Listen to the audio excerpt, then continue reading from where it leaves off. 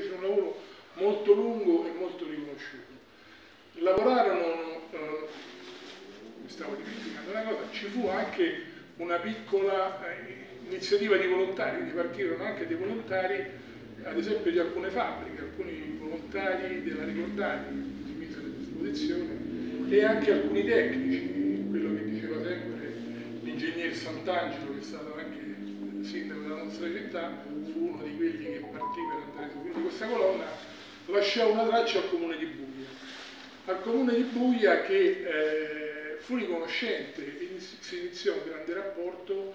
eh, qualche anno dopo, qualche anno dopo eh,